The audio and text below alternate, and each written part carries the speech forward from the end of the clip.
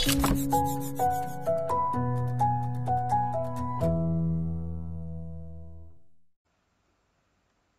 دوستان بریم سراغ پنجره بعدی. پنجره بعدی پنجره کامنت هیستوری هستش. پنجره تاریخچه دستورات می‌تونیم ازش یاد بکنیم. چیکار می‌کنه؟ همونطور که اینجا اشاره کردم کارش اینه. همه دستوراتی که توی پنجره کامند ویندو اجرا شده رو میاد ذخیره می‌کنه دستورات رو دقت بکنید متغیرها نه متغیرها که داخل حافظه ورک اسپیس حافظه کاری مطلب میمد ذخیره می‌شد. دستورات رو میاد یه نسخه ازش رو ذخیره می‌کنه. خب؟ ببینیم روال استفاده ازش به چه شکلیه. متوجه میشید دیگه اینجا. همه دستوراتی که من از ابتدای ساعت کار کردم ذخیره شد. می‌بینید چقدر جالب؟ حتی بهتون نمایش میده که شما MATLAB و کی ازش شروع به کار کردید. کی شروع کردید؟ از MATLAB استفاده کردم میگه شما مثلا ساعت 11 و 27 دقیقه صبح 30 نوامبر فلان سال 2023 اومدی MATLAB تو آوردی بالا. تک تک دستوراتی که از ابتدا شروع کردی به کد نویسی کردن شامل اینا. می‌بینید؟ به چه دردی می‌خوره؟ شما یه سری دستورات رو توی محیط command window کد نویسی کردی MATLAB تو بستی. یه هفته دیگه می‌خوای بیای ببینی که توی command window چیا نوشته بودی. چون دستوراتی که داخل command window پاک شده دیگه. به این تو برنامه نیست که تو فایل script نیست. ما بعدا میریم سراغ فایل script. برنامه های حجیممون رو داخل script کد نویسی می‌کنیم ذخیره می‌کنیم اجرا می‌کنیم. اونا رو همیشه بهش دسترسی داریم مثل فایل Notepad ه ولی command window که مثل فایل Notepad نیست پاک میشه. با CLC پاک میشه. با بستن پنجره MATLAB پاک میشه. برای اینکه به اونا دسترسی داشته باشی کافیه بیای داخل command history بهشون دسترسی داری. و از اون جالبتر اگر روی اینا کلیک بکنی اجرا میشن. مثلا من روی این کلیک می‌کنم اجرا میشه. روی این کلیک می‌کنم اجرا میشه. می‌بینی؟ اجرا شد. هر کدوم از اینا کلیک بکنی اجرا میشن. پس به محتوای command history تون دسترسی دارید. اگه بخواید پاکش بکنید کپیش بکنید کافی control R روی مثلا کلیک کنید control R رو بزنید. کلش رو drag and hold می‌کنه. مثلا پاک کنید. می‌خواید پاکش اصلا نمی‌خواید محتواش محتوایی که توشه. مثلا بعد یه مدت زمانی دیگه کلا می‌خواید پاکش. یا کپیشه به یه کسی بدید. یه جا ذخیرش بکنید. می‌تونید به راحتی کپی بکنید مثلا بریزید توی فایل Notepad ی چیز. که معمولا اصلا ضرورتی ایجاب نمی‌کنه همچین عملیاتی انجام.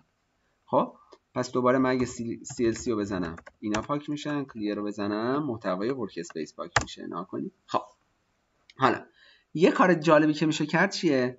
شما خیلی از زمانها نکنید مثال رو فرض کنید من بنویسم A مساویه یه همچین چیزی B مساویه مثلا یه همچین چیزی.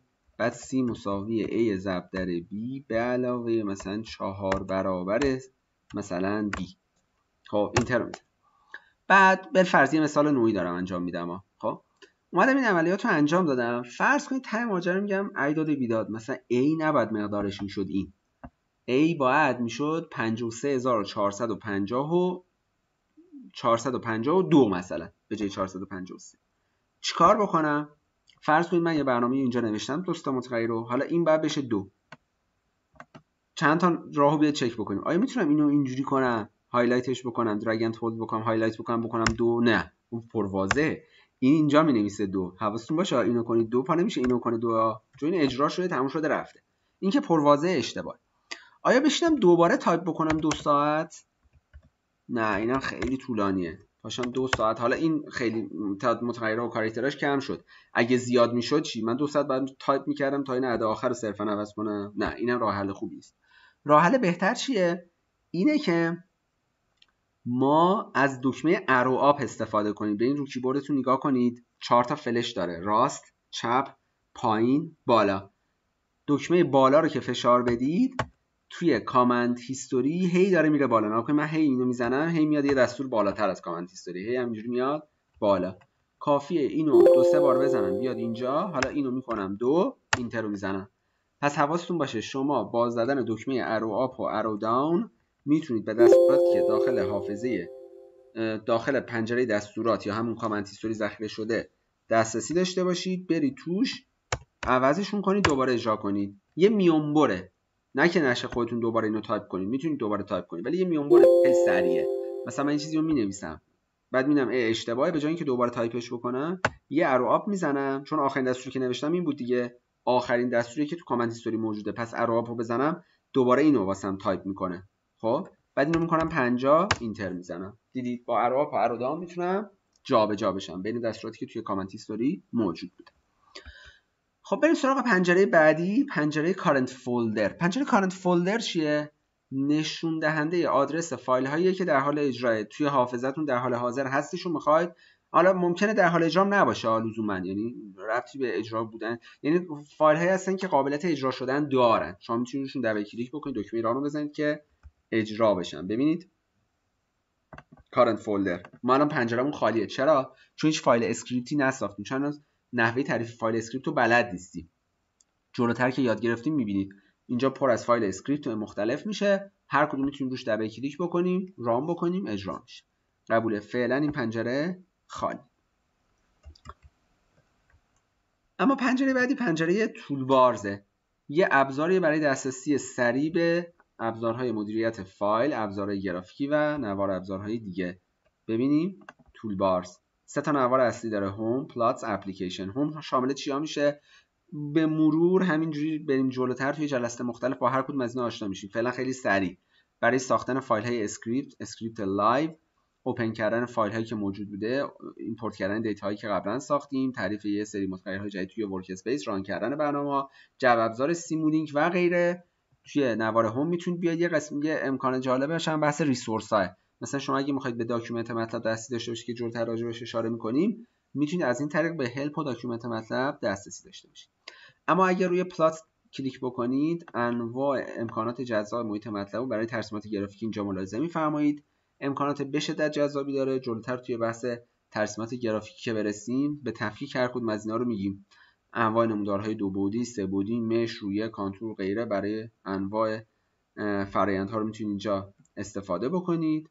و applications ها هم که همون toolbox که راجبش صحبت می‌کردیم بالا بر ده ها toolbox جذاب توی حوزه های مختلف که ما فراخور زمان و بحثی که داریم تا این دوره به طور خاص دوره پیشرفته ای که شامل همین دوره میشه تو همین دوره برخی از اینا رو با هم دیگه کار می‌کنیم. اونایی که خیلی پرکاربرد هستن رو با هم دیگه کار می‌کنیم. منتها می‌بینید دیگه مثلا میگه توی بحث ریاضیات و آمار و بهینه سازی این toolbox هایی که موجوده. مثلا ما با دو سه تا از این toolbox ها قرار کار بکنیم توی همین دوره.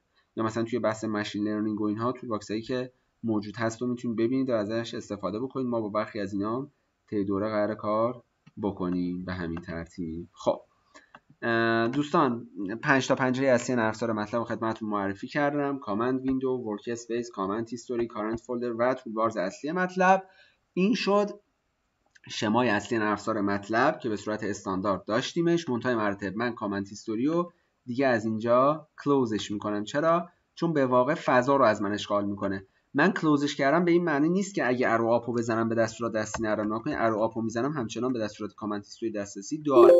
پس بیخودی نمی‌ذارم اینجا فضایی اشغال بکنه. یعنی به صورت استاندارد خود مطلب پیشنهادش اینه که شما یه command window داشته باشید یه workspace یه current folder و toolbars و تمام. خب؟ با پنجره اصلی آشنا شدیم. دیگه از بخش بعدی جلسه بعدی دیگه وارد بحث scripting میشیم توی محیط MATLAB.